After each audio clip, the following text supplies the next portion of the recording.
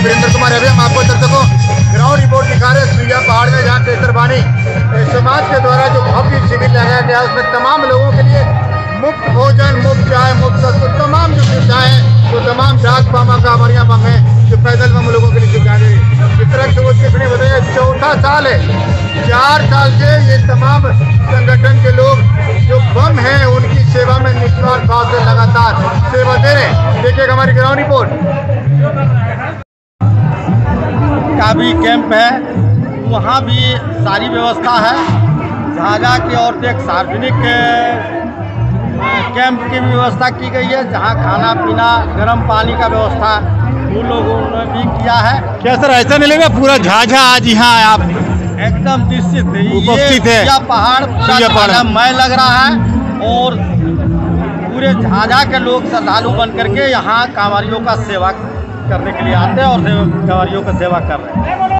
केसरवानी समाज से सबूत के जुड़े हैं। क्या क्या आपके यहाँ सुविधाएँ हैं सर आज यहाँ हमारे यहाँ अखिल भारतीय कांवरिया सेवा शिविर में हम लोग निःशुल्क वस्तु की व्यवस्था, निःशुल्क नींबू चाय, निःशुल्क चीनी पानी मतलब शरबत, निःशुल्क नींबू पानी, निःशुल्क भोजन, निःशुल्क दवा का जितना व्यवस्था है टोटल प्राथमिक उपचार के लिए सब सक्षम है हमारे यहाँ। और हमारे यहाँ दोनों टाइम मतलब दोपहर और रात जितने भी बम आए यहाँ ठहरे मेरे कैंप में रुके सब लोग का भोजन का निःशुल्क व्यवस्था लंगर के रूप में हम लोग कितने सालों से सेवा दे रहे हैं सर आप लोग? ये हम लोग का चौथा साल हो गया दो साल कोरोना के कोविड के चलते बंद था। इस बार कोविड के बाद हम लोग पहला हम लोग कांवरिया सेवा तीन साल पूर्व और एक साल चार साल हम लोग का इस कांवरिया सेवा शिविर में सेवा करते आया है। और इस कांवरिया सेवा शिविर को सफल संचालन करने के लिए आझा के केसरवानी प्रेस पंचायत के लोग तो है ही लेकिन पूरे भारतवर्ष के केसरवानी समाज के लोग बढ़ चढ़ के हिस्सा लेता है और इस झा इस कांवरिया सेवा शिविर में झाझा से जो लोग आते हैं वो लोग सेवा भी देते हैं और सहयोग भी करते हैं चाहे वो किसी भी समाज का हो। तिवारी जांजगीर चांपा से आए हम लोग छत्तीसगढ़। छत्तीसगढ़ से? हाँ। अभी कहाँ हैं आप? कहाँ खड़ा हैं आप? अभी हम लोग सुइया पहाड़ नहीं खड़े अच्छा ये सुइया नाम क्यों पड़ा यहाँ इस जगह सुइया नाम इसलिए पड़ा क्योंकि या, जो यात्री आते थे यहाँ तो ये पर्वत रूपी था। पर्वत रूपी था तो इसलिए चुपता था। चुपता था इसलिए सुई के भांति इसलिए इसका नाम सुइया पहाड़ पड़ा। इसको सुइया पहाड़ कहा जाता है। क्या झाझा कैंप की सुविधाएँ कैसी लग रही हैं आपको? बहुत बढ़िया सुविधा है। हमने गर्म पानी की भी सुविधा ली हमने लाल चाय की भी सुविधा ली बहुत अच्छा सुविधा है यहाँ। और बहुत मन को प्रसन्न लगा यहाँ सुविधा लेके के। कई समाज कई संगठनों ने कई सामाजिक संगठनों ने मारवाड़ी युवा मंच है केसरबानी समाज है और भी कई समाज के लोगों ने यहाँ बहुत तमाम सारी सुविधाएँ, जो यात्री हैं, जो बम हैं, जो भोलेनाथ के दर्शन के आए हैं। वो किस टाइप का लग रहा है, सर? क्या क्या है यहाँ?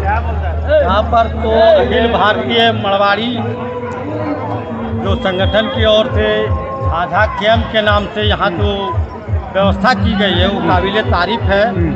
और यहाँ पर ये बीच पड़ता है, सुल्तानगंज से और देवघर का बीच का स्थान इसे क्या पहाड़ कहते हैं। आज से विगत 15-20 साल पूर्व यहाँ पत्थर पर पहाड़ पर होकर गुजरना पड़ता था, जिसमें सुई जैसा चुभता था लोग। अब तो बहुत सुविधा हो गई और कैंप में गर्म पानी, महलम, कांच लगने की दवाएँ और सबसे बड़ा बात है कि एक्यूप्रेशर की भी व्यवस्था है। जो बम थोड़ा सा भी अपने आप को असहज महसूस करते हैं और झाझा कैंप के माध्यम से उन्हें स्वस्थ करके आगे की यात्रा को सुलभ बनाते हैं। सबसे बड़ा देन झाझा जो कैंप है, उसका ये सबसे बड़ा ये देन है कि वो यहाँ से आने के बाद, इस कैंप से गुजरने के बाद वो सुलभ यात्रा करके और बाबा धाम पहुँचते हैं और जल चढ़ाते हैं।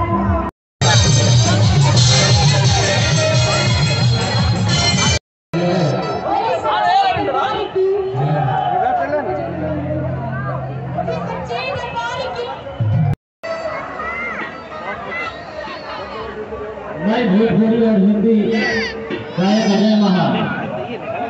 सबसे पहले तो मैं बाबा धाम के लिए चलो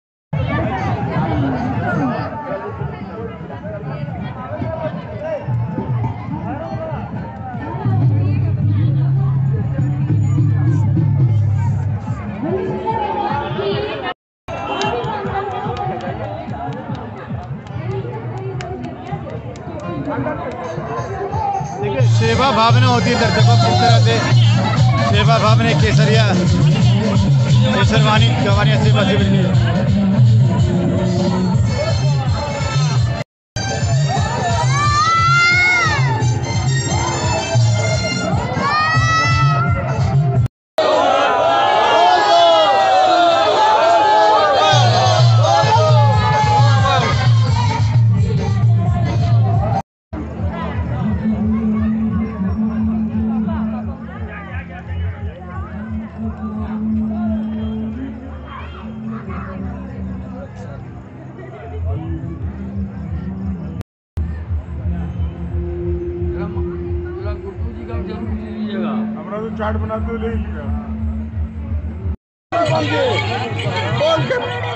ज़ोर से बोलो ज़ोर से बोलो।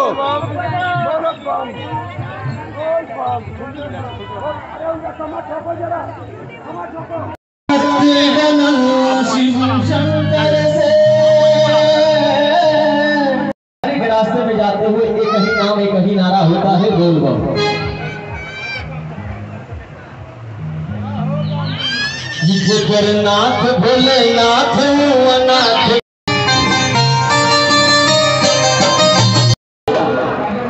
जो जगह में हम लोग अभी चल रहे हैं। सुल्तानगंज से सुल्तानगंज से देवघर वासुकीनाथ जा रहे हैं।